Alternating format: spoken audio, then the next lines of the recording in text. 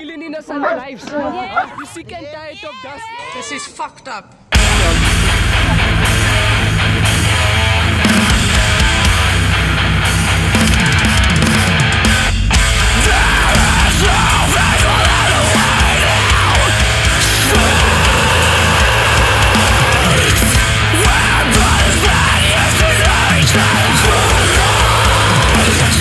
Don't